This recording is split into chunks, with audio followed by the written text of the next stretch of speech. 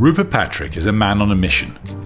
He's attempting to bring back to life a lost classic blended whisky that has not been produced since the 1940s.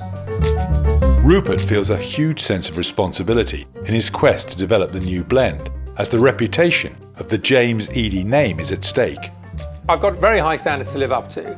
I have felt over the last two or three months my shoulder being sort of looked over by the, the founder, James Eadie. The stiffest test will be getting the approval of his uncle Alistair. Alistair is a direct descendant of James Eadie. His father was the last Eadie to run the business prior to the brewery's sale to Bass. This, as you know, is the, well, the last sort of bottling that we know of, which is around 1940 of the James Eadie blend. And this is the one that we've created to go to market quite soon. We'll do a side-by-side -side tasting. I'll pour a little bit of each, and then we'll, we'll compare and contrast yes, the, the, two different ones. As you'll see, this has an amazing colour.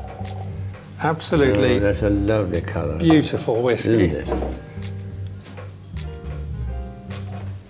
Now, now we get into that's got an amazingly um, round nose and palate. But this is delicious. You like it? Yes, I do. Because I know, I know you haven't had a particular style of whiskey. How does that? That, to my mind, is is a wonderful modern day version. Yeah. Absolutely lovely. It's a tough task. I mean, Norman had a really difficult task to do. I just think he's done an incredible job. Yeah. I think this is very, very good indeed. Very drinkable. But the proof will be in the pudding when we start to get out Absolutely. there and market it.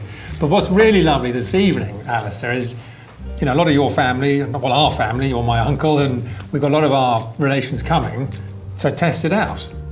Having secured Alistair's approval, the final challenge is to seek the blessing of the rest of the Eadie family.